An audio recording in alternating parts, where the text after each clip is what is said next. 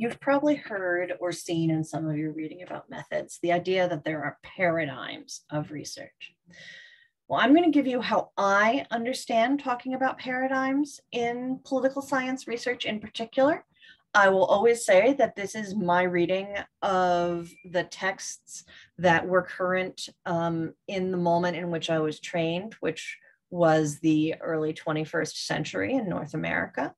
People who come from different intellectual traditions elsewhere globally or elsewhere in time will have different understandings, but this is my reading of what it means to talk about different paradigms in the field of political science in particular. Um, many of you, I believe, have encountered the thing called the scientific method, right? Um, I particularly like this version of it because it rings true to my experience with babies. Um, essentially, that you go through a process of observing, generating hypothesis, performing an experiment, analyzing data, reporting findings, and reproducing findings, right? That this is this secular notion of trying to figure out what we can learn about the world. And the scientific method is one kind of paradigm for generating knowledge. It makes certain assumptions about the nature of the world, the nature of knowledge, and how it is shared and generated. And it puts them into practice. And it's pretty good at doing a lot of things, right? It's a pretty useful method. But it's not the only way to think about what it means to rigorously generate knowledge. And so there are a variety of paradigms that social scientists in particular can be coming from when they talk about how they do their work. The three ways we're going to use these terms, and they have they have other names in other places and they wear other hats sometimes. Okay? Is we're going to talk about positivism, realism, and interpretivism. And uh, I've got these trees here. And the reason I have these trees here is because of, uh, I think they, they end up serving a mnemonic function. When you think of a tree, if you, like me, were born in North America, right? Probably your like ideal type tree, the first one you think of them, looks a lot like that deciduous tree over there on the left, maybe it's a maple or something, right? Or an oak. And so that's your idea of tree because that's like the prototypical tree, right? And so I use it to represent positivism because because we are often taught the type of science that is based in positivism from our earliest ways of thinking about thinking, right? And so it may seem the most like research to you, or the most like science to you, or the most like knowledge to you, right? But there are other trees out there, right? So realism I have represented with this pine tree, right?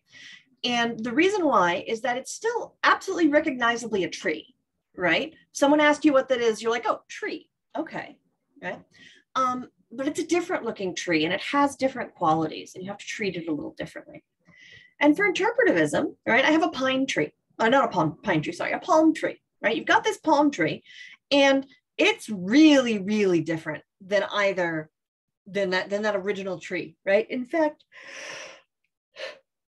someone once pointed out to me that technically pine trees are grasses, right? Botanically, they're not even a tree.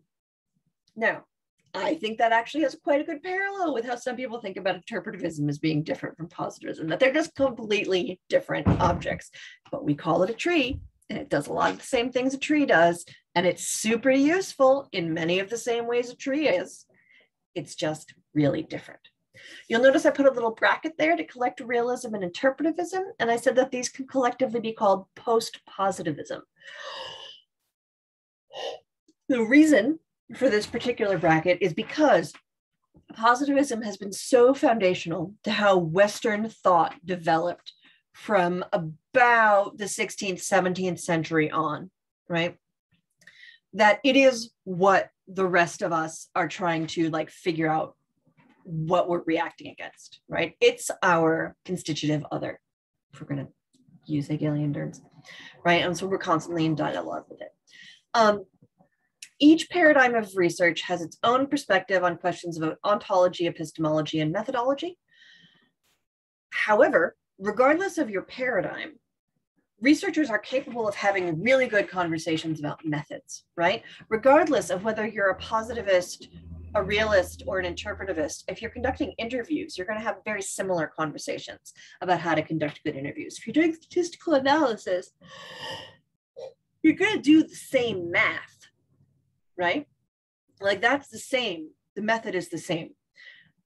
But what you think about how the world works, what you think about how knowledge works, and the story you tell to connect your method your your ways of knowing about the world to how you're collecting data will be different right that's the methodology piece the other thing is if researchers want to they can have a really good conversations across paradigms right i say if they want to because there's bad blood between the paradigms some of it for good reason some of it for bad reason right um, a lot of it because people just like drama right?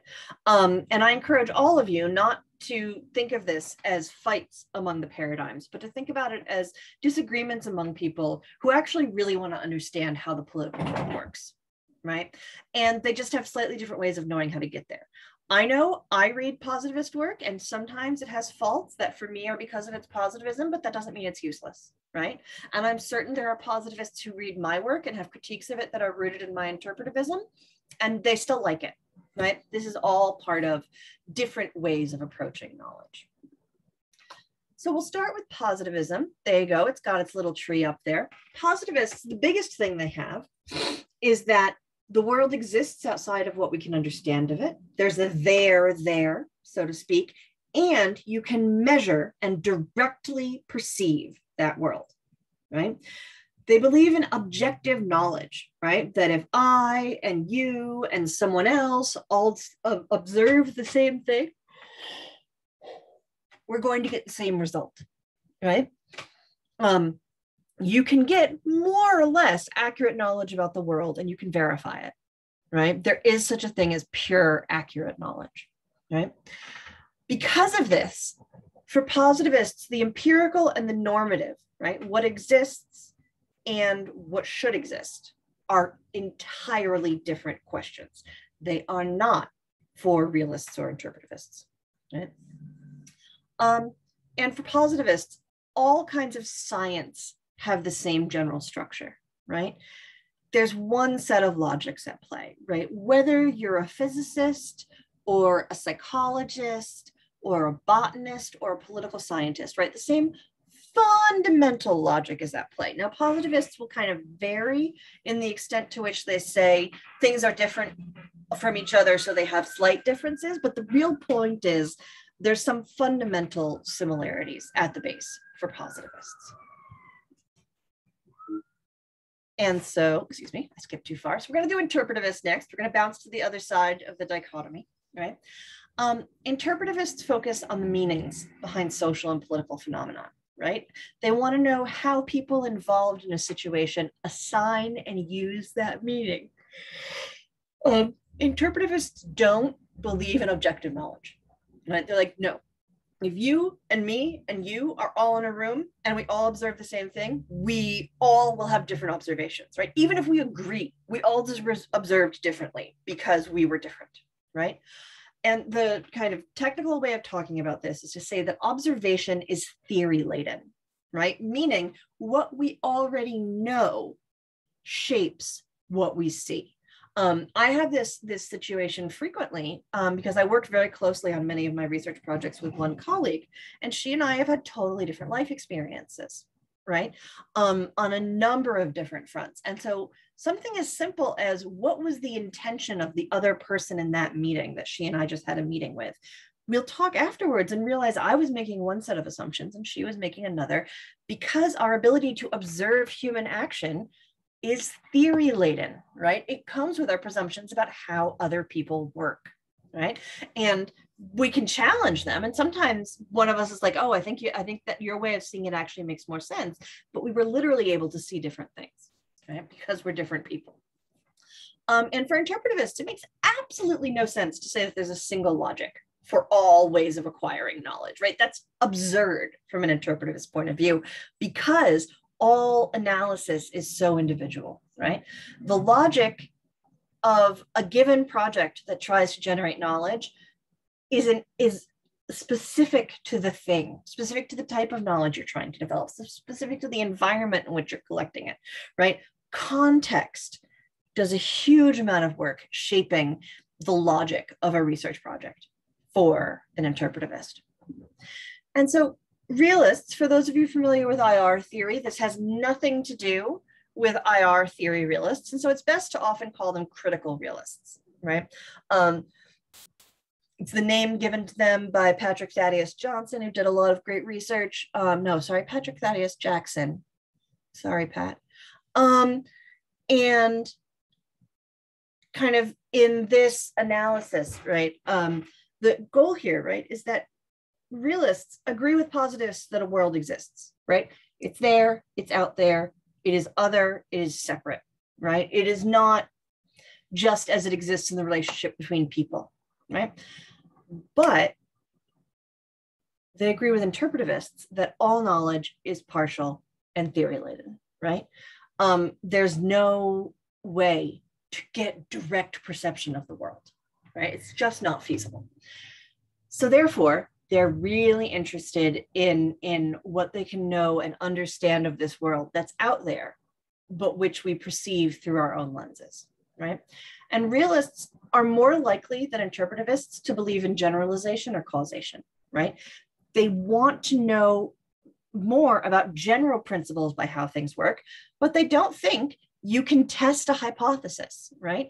Instead, what they often do is look at individual cases where things happened and try to understand how they happened, right? Try to understand the process that produced them. Because in doing so, they believe they can then make suggestions or point to things in the future that can help understand how other things work, right? They don't think they're general, they're generating a generalizable law. They think they're generating a kind of conditional way of understanding things, right? And there's a lot of emphasis um, in the more formal versions of this kind of argumentation around necessary and sufficient conditions a lot of the time. And so realists believe that the social sciences are fundamentally unlike the natural sciences right? Because the social sciences are human, right? They're about humans. And importantly, they're about how we think and how we perceive. And all knowledge has to come through the filters of the person, right? So there's no way that you can kind of manifest objectivity in this way uh, and do that coherently for a realist, right? So um, this is kind of, you can see why realists and interpretivists cluster together in this post-positivist corner, right? And why they're distinct from positivists. But the important thing to remember is that in contemporary North American political science, there are excellent examples of all of these trends of argumentation. And one of the most important skills that you are going to develop as you get better at reading political science research and conducting political science research is starting to understand what the fundamental presuppositions about the world are that motivate a particular piece of research.